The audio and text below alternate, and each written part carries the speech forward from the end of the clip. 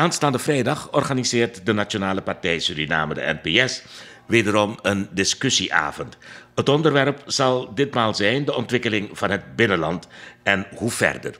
Aan de telefoon hebben we Duncan Pinas, die gaat ons meer hierover vertellen. Meneer Pinas, wat kunnen we op de avond verwachten? Nou, op deze avond kunt u verwachten dat we een sterke inleiding hebben.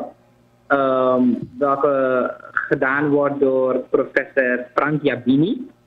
En natuurlijk de, de discussie zelf, waar de panelleden ook hun visie en kijk um, op zaken zullen presenteren. En uh, het publiek de gelegenheid krijgt om um, in discussie te gaan met de panelleden. Welke andere uh, panelleden zijn er dan? De panelleden voor deze avond zijn um, mevrouw Sherman Artis. Zij is, um, heeft een mastertitel afgestudeerd in. Um, uh, ze heeft een onderzoek gedaan uh, naar uh, uh, natuurlijke hulpbronnen en hoe dat allemaal te gebruiken.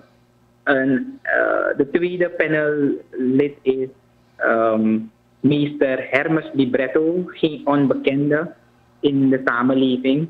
En die is advocaat. Hij zal ook in de panel zitten.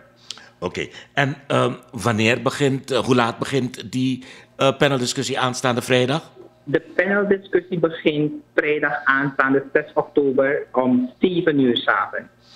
En moet, iedereen, moet men zich van tevoren registreren of kun je er gewoon rond die tijd er zijn? Nee, je kunt er gewoon rond die tijd zijn en het is open voor ieder, partijgenoten, maar ook niet-partijgenoten. Het is een openbare discussieavond.